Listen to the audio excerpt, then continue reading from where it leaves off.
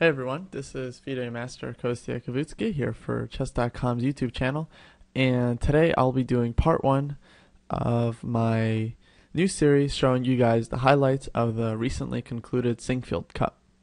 So, as many of you guys know, the Sinquefield Cup was a tournament held just this past week in St. Louis, Missouri, and it was the strongest tournament ever held in the United States of America.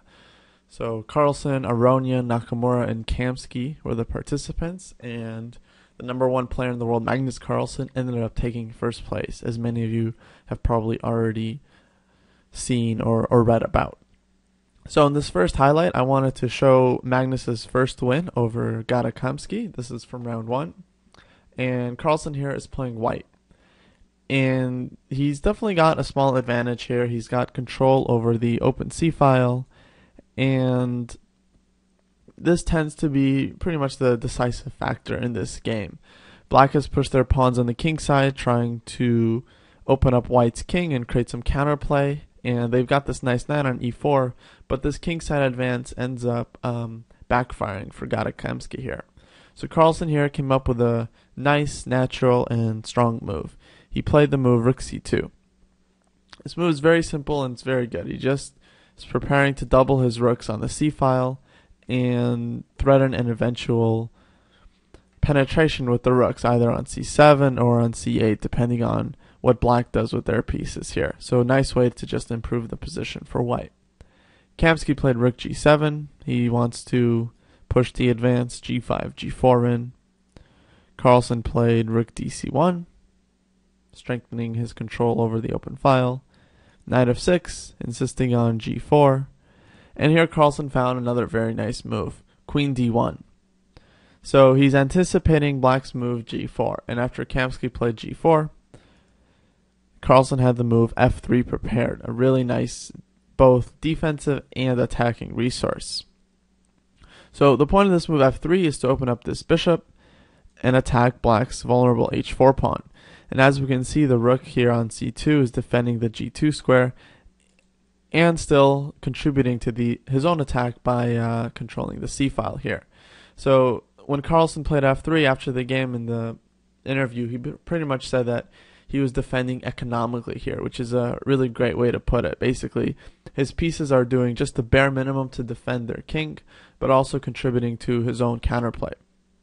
And of course, the reason he played this move queen d1 was because he was anticipating black pushing g4 and meeting it with f3.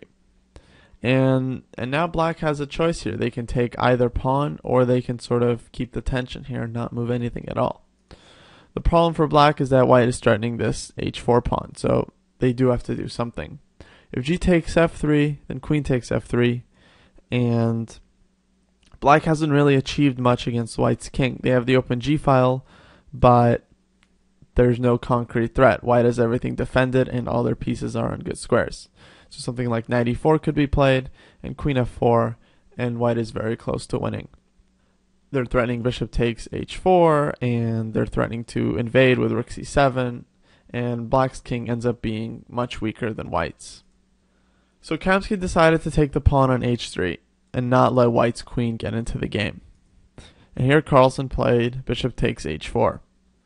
And now this bishop is putting a lot of pressure on the knight here, and this queen ends up being overloaded in a lot of lines because it's trying to protect the 7th rank and the 8th rank and defend the knight as well, which is caught in a very annoying pin. So now if something like h takes g2, white has a really strong move here. And that move is queen e1. White would like to play rook c8. This seems like the most natural move. The point being, white is attacking the queen and the rook, and this knight is still under pressure. And the problem is that black can take this rook. White recaptures, black takes, white wins the knight, and white has more material here, but black has this resource, rook c7. And white has no good way of preventing black's domination on the c file, attacking his queen, securing his king, and causing a lot of trouble. And white is in, in some trouble here for sure. But the move queen e1 is very strong, and now white's threatening to play rook c8, and in that same line, after we take the bishop on f6 and black moves the rooks over to the 7th rank, white will play queen g3 check. So this is an important resource. If black plays something like queen e7, seems like the only move, white will play rook c7, queen f8, takes, takes. And white has really good pressure here. This bishop is strong, they have the c-file, and they can even play a move like queen g3.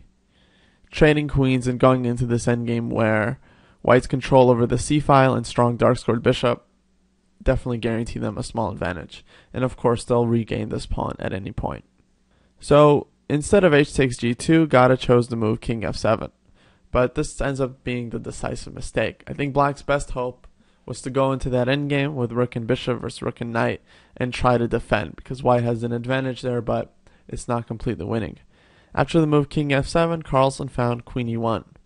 Hopefully we're already familiar with this idea, and the point is to play rook c7 check, and then if black blocks with rook e7, we can capture the knight, play queen h4 check, and launch a decisive attack. And that's what ends up happening in this game. White gets their major pieces near black's king. Black's king ends up being extremely vulnerable, and Kamsky was unable to defend. So he took this pawn on g2. Not a whole lot else we can recommend for him. Rook c7 check, rook e7. Carlsen took on f6, king takes f6. He threw in rook c8 to gain access to the back rank and attack black's king. Queen d6 was played, queen h4 check, king f7. And now white definitely has a winning attack. Their queen and rooks are well placed.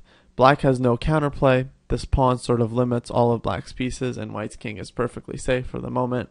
And black's king is really in a tough spot. White can play queen h8 at some point, um, and do a number of things. So here Carlsen thought for a little while and he found a very accurate path to victory. He played queen h5 check. Now rook g6 was more or less the only move. And here Carlsen played f4. And I really like this move. I mean, there was a lot of nice attacking moves for white, but they weren't devastating or immediately ending the game. For instance, the move like rook h8 looks very nice to threaten rook h7 check, but black has the resource queen g3, defending his rook and potentially causing some counterplay against white's king. So this would have been no good. In fact, white's attack is no longer winning in this line. So I think for this reason, Carlsen played f4. He restricts the queen from coming to g3, and he threatens the very deadly rook h8. So Kamsky played queen a3. He really had no other choice but to attack this rook and keep white's rook from leaving the c8 square. Queen h8 was played, rook g7, queen h5 check. Carlsen repeated moves once just to get to the time control, earn some more time, and figure out the most accurate and precise way to victory. So you repeat it again with queen h8, rook g7, and here you found queen f8 check, king g6, and a really nice move was played here. Maybe you guys can pause the video and try to find it. So the move was king takes g2. Carlsen finally captures this g2 pawn, and now he's starting to play rook g1 and king f3. And with all three pieces involved in the attack, black's king simply has no hope.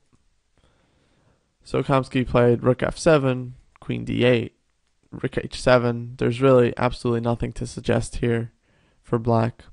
If they play something like queen b2 check, white can simply block, queen b3, king f3, and white is simply threatening rook g2 check and is just going to be a checkmate real soon.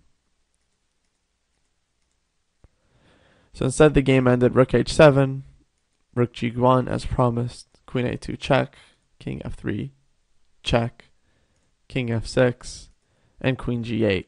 So white's pieces are just surrounding black's king. There's no escape. And black has no good counterplay of their own. Kamsky played rook h3 check, rook g3. He captured, queen takes. And here Kamsky decided to resign.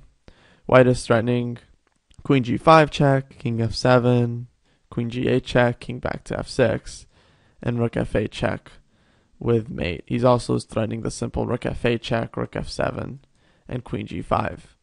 So with no defense, no good checks to, to these threats, Kamsky decided to resign, and Carlsen won a really nice positional and tactical victory. He got the control of the c-file with rook c2 and rook c1, and then after playing the strong idea of queen d1 and f3. He prevented all of black's counterplay by defending the g2 square, and he opened up counterplay of his own against this h4 pawn. And with the help of his control over the c file, Carlsen was able to launch a decisive attack and score his first victory of the tournament. Thanks a lot for listening, and I'll see you around on chess.com.